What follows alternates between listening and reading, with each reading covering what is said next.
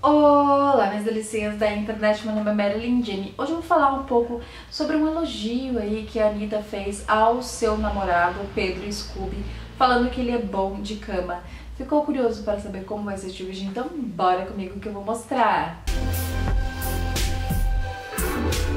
E eu sempre deixo aqui embaixo, na né, boca de informação, vários links, sendo que um deles é a Fórmula da Reconquista, onde você vai ter dicas incríveis de como reconquistar o grande amor da sua vida que por algum motivo você o perdeu. Então, no sábado agora, o Pedro ele fez aniversário e a Anitta o elogiou aí. Eu acho isso muito bacana, sabe? Quando a pessoa tira um tempinho para elogiar o amado e dizer o quão importante é estar com ele, o quão bem ele te faz, né? Isso até inspira outros casais e eu acho ótimo.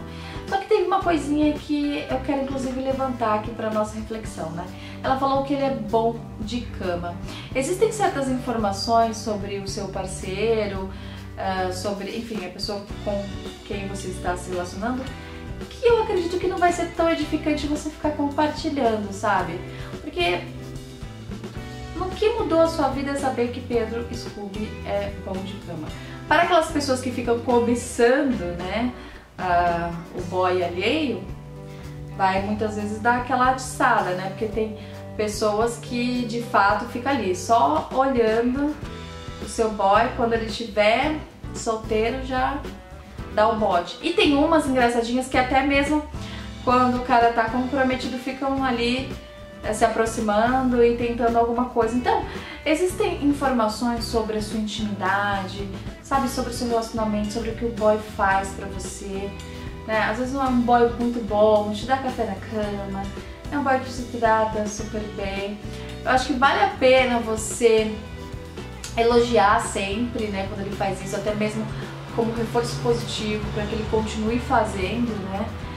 Mas tem coisa, gente, que a gente tem que aprender a ficar na nossa intimidade, sabe? Para evitar uma série de fatores como olho gordo, como gente cobiçando a felicidade alheia, gente assim, sabe, é, opinando demais. Porque na medida que a gente dá abertura e fica contando muito da nossa vida, a gente dá permissão para o outro falar também. É, sabe? Então, assim, são coisas que a gente pode evitar. E eu sempre falo por aqui que às vezes você quer conversar alguma coisa aí sobre o seu relacionamento com alguém que tá rolando. Cara, vá a um profissional ou converse com uma pessoa de sua extrema confiança, sabe? Porque tem muita gente que fica querendo saber coisas do seu relacionamento para depois usar isso contra você. Então preste muito atenção o que você compartilha, com quem você compartilha. Tem alguns detalhes da sua vida que não vai valer a pena ninguém saber. Não vai edificar, não vai modificar a vida de ninguém, não vai trazer nada de bom, você pode até se prejudicar passando esse tipo de informação. Saber também quem você é, deixa entrar na sua casa, sabe? Quem você deixa entrar no seu quarto existem alguns lugares que tem que ser uh, reservado ali pro casal, tem que ser sagrado, tem que ser algo assim é, íntimo, que pertence somente a vocês, sabe? Um lugar que pode ser até um lugar simbólico que pertence somente a vocês. Você tem que se proteger. A exposição, ela acontece em caso, né, de pessoas que trabalham com isso, artistas famosos, mas você tem que saber até onde uh, você se expõe. E isso é uma coisa que você tem o controle, você tem o controle do que você expõe.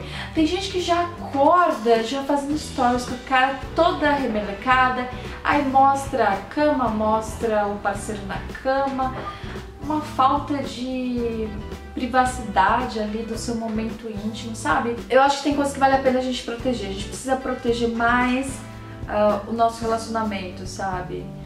Falar menos das nossas coisas íntimas, mostrar menos. Ninguém precisa saber tudo que você faz, cada passo que você dá. Se uh, o seu boy é bom ou não de cama, o tamanho do... Tem gente que conta até o tamanho. A gente, gente, gente, pra que ficar contando o tamanho, né? Então assim, bom senso é a chave aqui do sucesso. E ó, boca calada principalmente de coisas que ainda não aconteceram na sua vida, boca calada, gente, vem comigo que vocês passam de ano. Sério, não fica explanando tua vida aí pra geral não, porque isso só traz aí gente tóxica, gente invejosa, gente que fica ó, só de olho aí nas suas coisas e querendo te derrubar. Toma muito cuidado com isso. Se seu boy é bom de cama, guarde só pra você, usufrua somente você. E você é de casa, o que você acha disso tudo? Me deixa aqui embaixo nos comentários, porque eu quero saber se você gostou desse vídeo. Não esqueça de deixar um gostei pra mim aqui embaixo, isso é mega importante para crescer no meu canal aqui no YouTube. Tem aquele botão que você falou por aqui e inscrever-se apenas no que você já está inscrito. Me siga lá nas redes sociais, vou ficar muito feliz de ter você comigo. Um beijão, mas um beijão bem grande nesse coração gigante. Fique na paz e até a próxima. Tchau!